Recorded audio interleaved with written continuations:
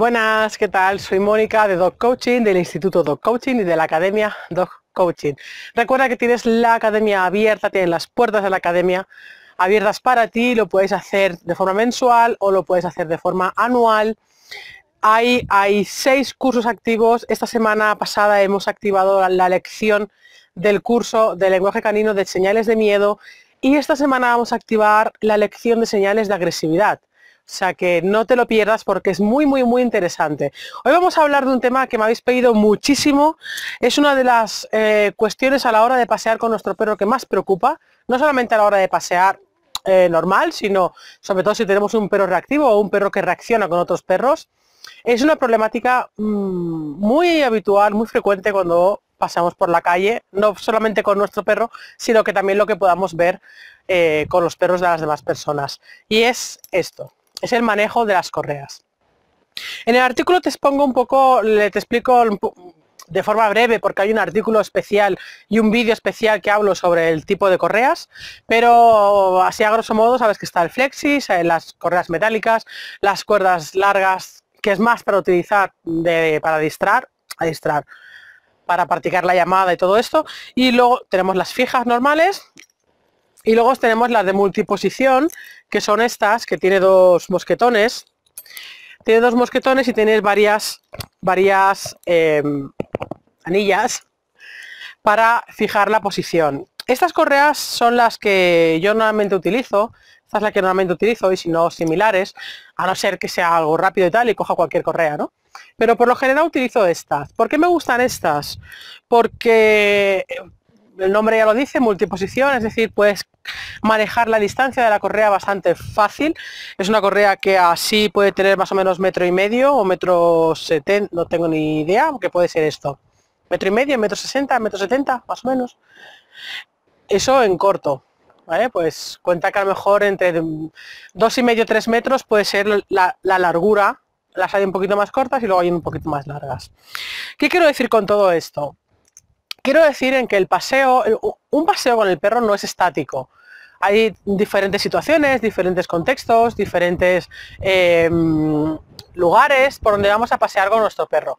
Y cada situación, a mí cuando, cuando me preguntáis o cuando me preguntan personas, oye, eh, durante el paseo tengo que llevar la correa corta o tengo que llevar la correa larga, porque unos me dicen corta, otra larga, yo te voy a decir que depende.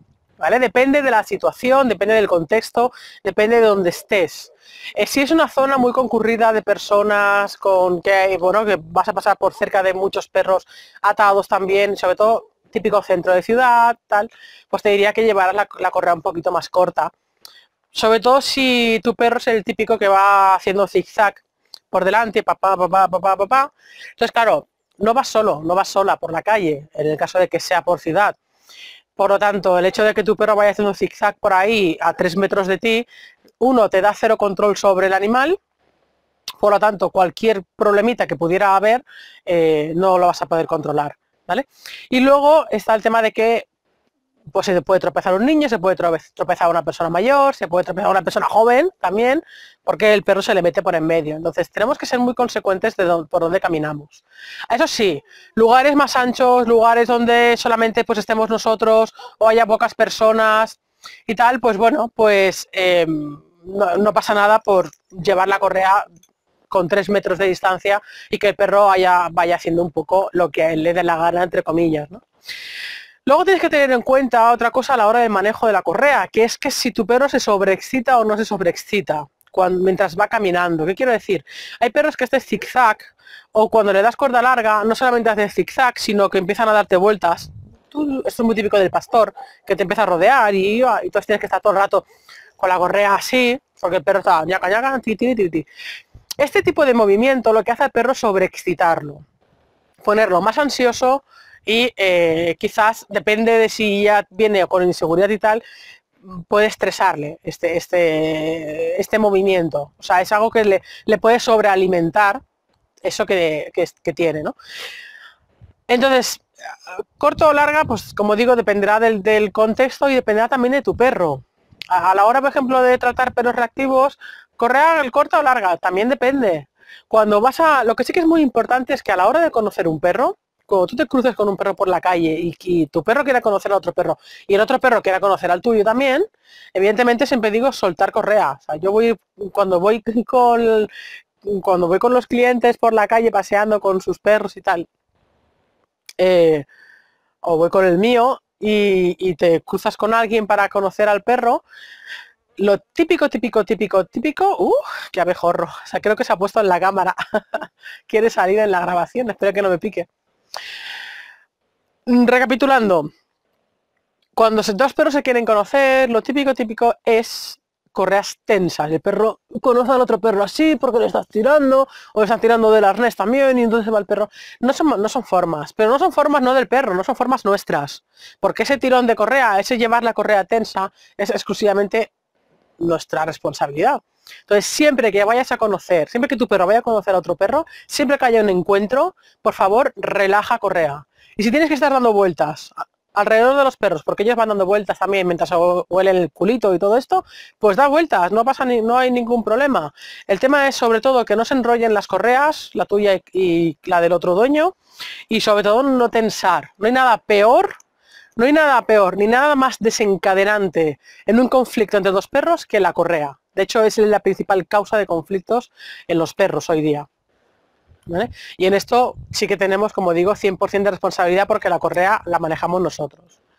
Eh, evidentemente esto es algo totalmente antinatural para el perro, porque uno obliga al perro a caminar a un ritmo que no le es natural. Después es, es un utensilio que coarta la libertad del perro y la comunicación del perro para con otros, por la calle también no le dejamos que cojan la distancia que a lo mejor quieren tomar o que hagan el ritual que ellos necesitan hacer a la hora de conocer otro perro, no le dejamos porque tenemos esto.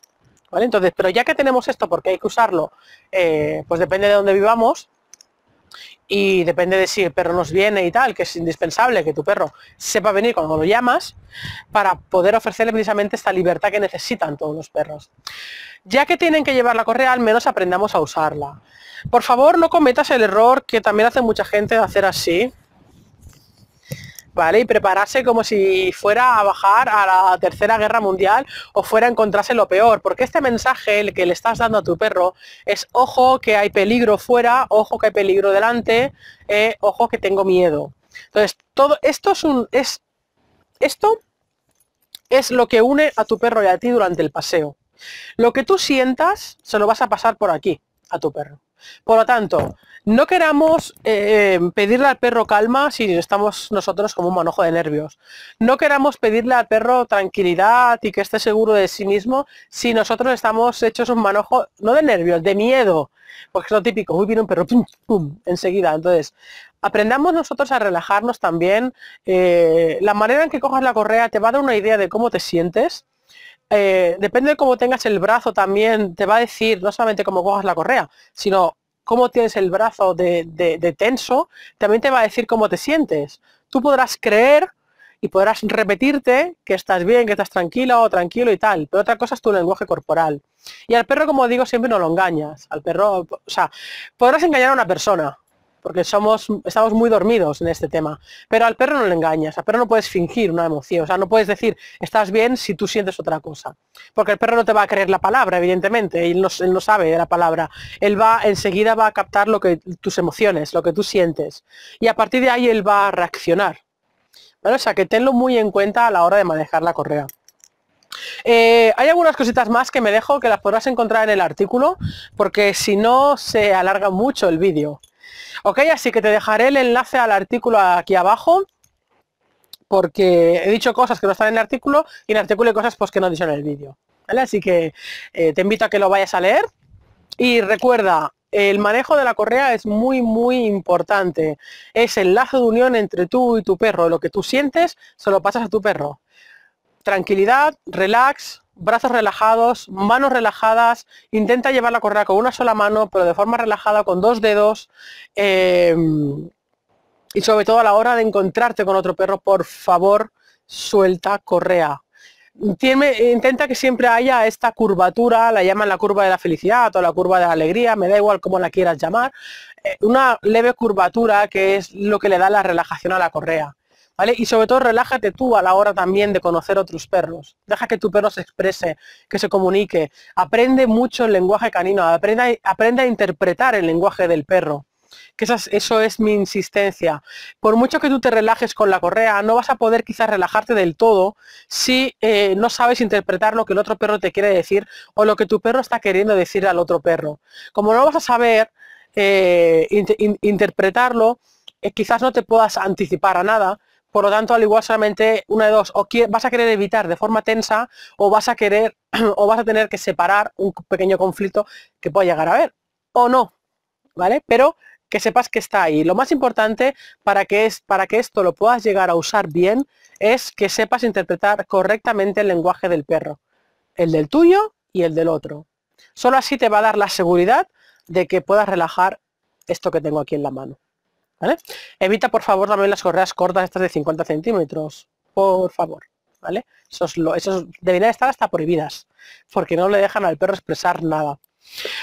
Lo dicho, Léete el artículo, si quieres conocer y si quieres saber interpretar el lenguaje del perro, únete a la comunidad, las puertas están abiertas, hay más de 150 personas dentro que están disfrutando y que están aprendiendo muchísimo con este curso de lenguaje canino, pero además está el de perros reactivos, el de la llamada, entrenamiento general, los dos de cachorros, y, eh, y están votando ya cuál será el próximo curso que se vaya a activar cuando termine el de lenguaje canino. Ok, no te entretengo más, estoy aquí en una zona muy chula de la montaña, aquí cerquita de mi casa, la verdad que está de coña, con este sol que por fin no hace aire. Y nos vemos, nos vemos por las redes, únete a la comunidad, podrás acceder al grupo privado de Facebook. Cada martes hago un directo para contestar eh, dudas, pero para poder acceder tienes que estar suscrita a la comunidad o suscrito a la comunidad. Estar en la comunidad es gratuito, y tiene muchísimas ventajas. ¿Vale? Nos vemos en el siguiente vídeo. Hasta luego, chao, chao.